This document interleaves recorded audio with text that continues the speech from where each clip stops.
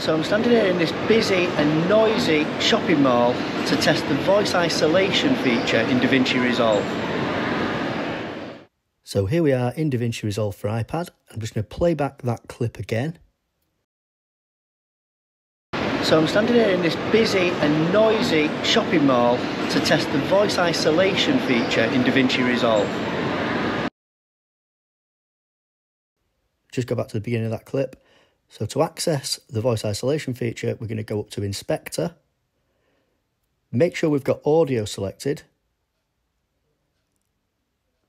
And then we're just going to go down to voice isolation here and toggle that on.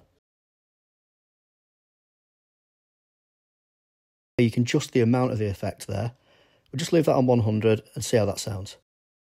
So I'm standing here in this busy and noisy shopping mall to test the voice isolation feature in DaVinci Resolve.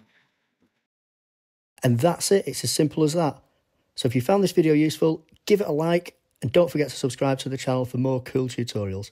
Thanks for watching, see you next time.